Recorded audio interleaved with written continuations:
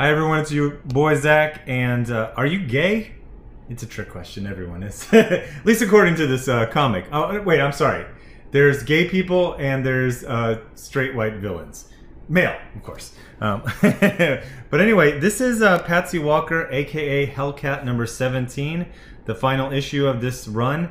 And uh, uh, some people got confused when I reviewed this a couple the the first issue a couple days ago. They thought it was a new book. No, this is like a 2015 2016 era book.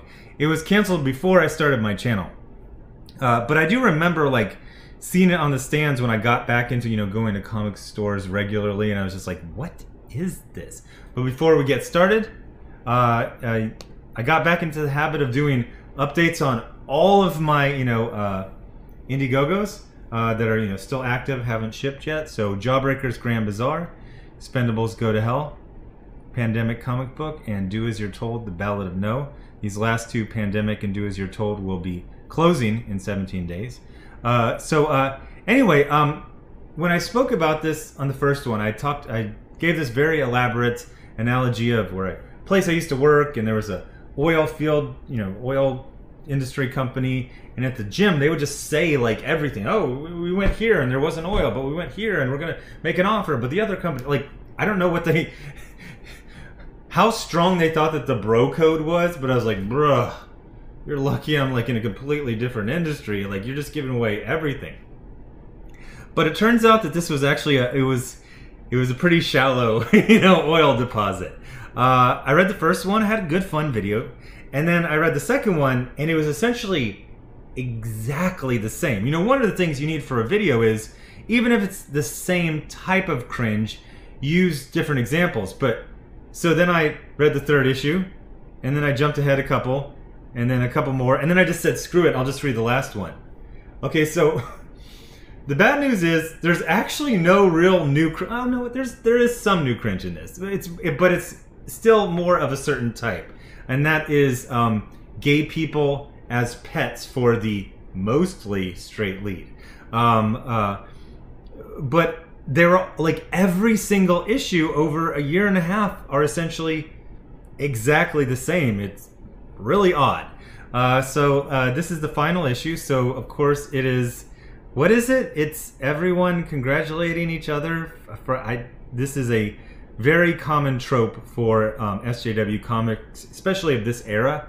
Uh, the first issue always had the lead being like photographed by a bunch of millennials or Zoomers or whatever. And they'd be like, oh my gosh, like me? Like I'm super famous? Like everyone likes me? Oh my gosh. Um, and then people said, haven't they done this also on Riri Williams? Uh, no, there was like a two year period where every female character got that cover everyone adoring them and them just being like fake modest. Uh, the other one, and I'm telling you, like, there were 17 issues. The first issue was, oh my gosh, like people think I'm amazing. Like, how did they know? And then every other uh, cover was, um, me and my diverse friends love each other so much. Uh, so this is the final issue, and what is this? It's her playing Wait, is she playing the game? This is a two-player game, so her controls would be over on the left, but she's in the middle, and you you just executed the kick. I and then you stop to congratulate. People are like insanely happy. I just had to edit out this long, awkward silence I had with myself because I got to this page and I go, did I not read this book? Like, I don't remember this page. I don't remember. I kind of did. I skim it and then I remembered. No, no, no, no.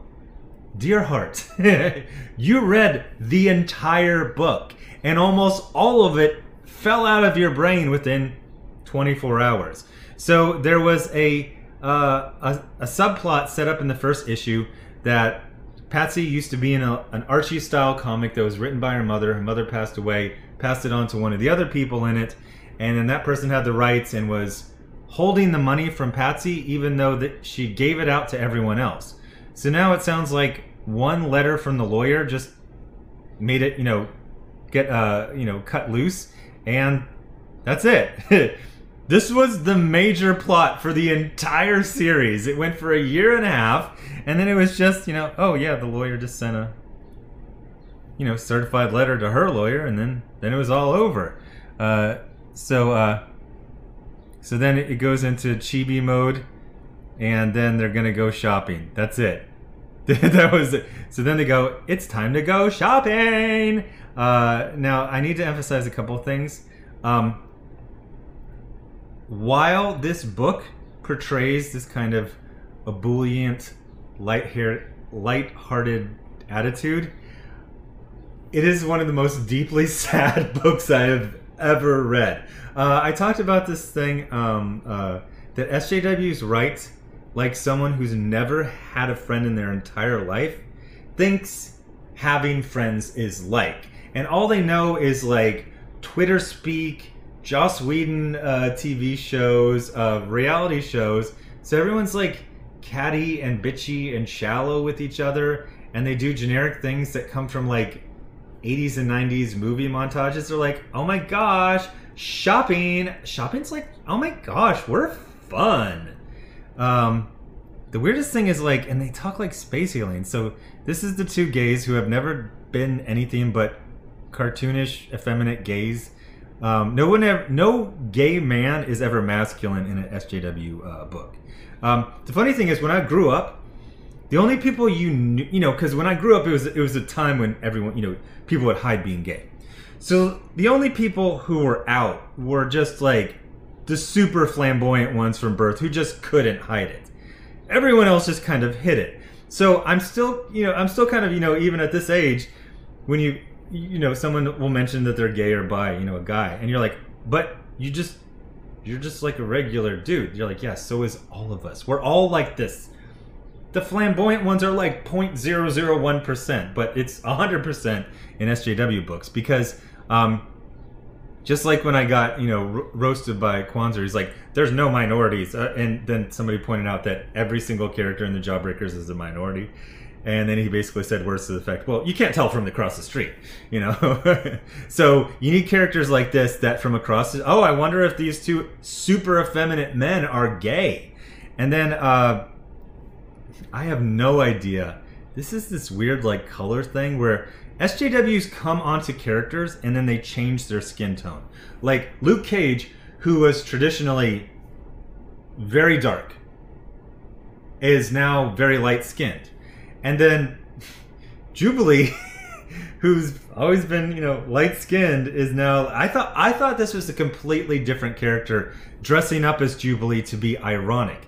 Uh, and okay, so Jubilee is a vampire, single mom, don't don't don't ask. That, that you can't blame this on this book. That that came from the X books. Uh, but uh, anyway, so they're doing the montage, and everyone talks like a space alien, pretending to be a human. That's what I'm talking about. Fashion shouldn't be some strict set of rules about what fabric for which body. It's a form of expression. So express. Uh, it is a lot more fun when you can afford it. I'll say that for free. You earned this, kiddo. Go big or go home. That doesn't sound like a teenager talking to other, you know, young people. Although, again, weirdly enough, they keep doing this thing in SJW books where people in their 20s and 30s hang out with teenagers. Um, uh, it's it's Minority Justice League. Minority Justice League is the uh, it's something that's promulgated in SJW comics. It's that all minorities, women, gay people, anyone who's not white, they all are vaguely friends and kind of know each other. And as soon as they're like, "Oh my gosh, you're black. I'm a woman," like we have so much in common. We're both not straight white guys. Uh, so again, this you earn this, kiddo.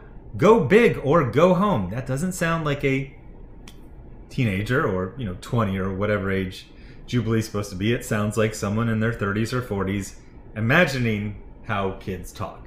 Um, so then, oh gosh. So then we're getting some funsy stuff. Oh, look. Oh, jeez. Am I. I'm trying to think of, like, the correct word for this. Um, this, this is specifically for the gay men watching. Is it insulting? like, I feel like I would be insulted. Like, the, the, the men are more feminine than the women. Yes, I know there is a small percentage of gay men who are very feminine, uh, but it's not. So then we get into the plot. and oh my gosh, two new characters get introduced. Plot twist: they're lesbians and they love each other. That's it.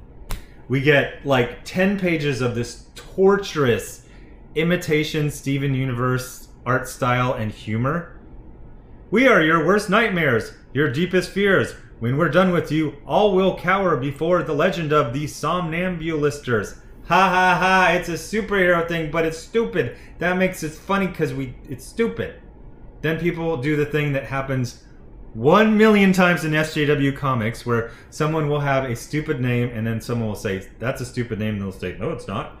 I think that might have been witty like the first or second time that happened 10 years ago. Now it's just excruciating. So then, ha ha ha, the two. Uh, okay, so this entire book is based around the idea that these uh, two girls are uh, lesbians, but they haven't really admitted it to themselves or each other. And then, uh, but the deal is that they're two female characters in an SJW comic. And they have danger hair. Like 100% these characters were going to be lesbians. So then they, they sit down, and these adults are basically like really into the sexuality of these children. Um, so they're like, hey, you're gays, right? You're a couple of gays. You like her. What? Aw, beans. Hey, that's maybe, it's, wow, that's, boy, we moved really quickly to that stranger adult in his late 20s. So then, uh, the, uh, I don't know, gay, the gay Asian guy in his 20s and the gay white guy in his 30s says, uh, now we're going to now, what we're going to do here is take back what you stole, and then, if you're okay with it, Tom and I would like to take you to the to his bookstore. Um, it's a so uh, these two strangers are gonna are going to uh, teach a 12 year old the gay way. Uh, again, look, this character is basically drawn as if she is a baby. Um, so then we find out that uh, Yaysies, Gaysies, Hooraysies. Um, and this is the two adult men making goo goo eyes because they're super in duper into the sexuality of a 12 year old and a 14 year old. And then, uh, 10 times darker than she's ever been, Jubilee says, You're a good person, Patsy Walker. You know that, right? This is definitely how humans speak to each other. So then, uh, hugging, crying, and everyone's gay, and the end. and I think this man might have tits. Okay, so this is. Uh, well, no, not every straight white man is evil. Uh, Doctor Strange is merely an effeminate uh, man, silly Billy, taking on, uh, you know, trying on hatsies because it's funsy onesies. Um, but yeah, these are all the different characters. Uh, okay, plot twist: everyone's gay. M Night Shyamalan. Everyone's gay. Um, uh, uh, and uh, that's it. The end. I've I actually invented this uh, uh, concept called gay ping pong, and it's where uh, you just replace every single bit of dialogue with literally just the word gay. You can add a period or an exclamation point or a, a question mark. You can make it bold or italicized, but this person would just say gay, and then this person would say gay, and then this person would say gay, and then this person in italics would say gay, and this person in bold would say gay, and then this person would say gay question mark, gay exclamation point, and that would just be it would re- it would really not fundamentally change the story in any way, shape, or form. So gay, gay, gay, gay, gay, gay, gay, gay, gay. Uh, so. Cool. Okay, so anyway, uh, Jawbreakers Gay Bizarre. The Expendables go to gay. Gay Demic. Do as you're gay, the ballad of gay. so anyway, thanks for watching. Subscribe. Make sure you're still subscribed. Hit the bell for notifications. Thanks to everyone giving to the GoFundMe, Patreon, and the Indiegogo. You're funding original content and an original lawsuit. Links are in the description. And I will have more new and old comic book reviews up all this week. Thanks. Bye.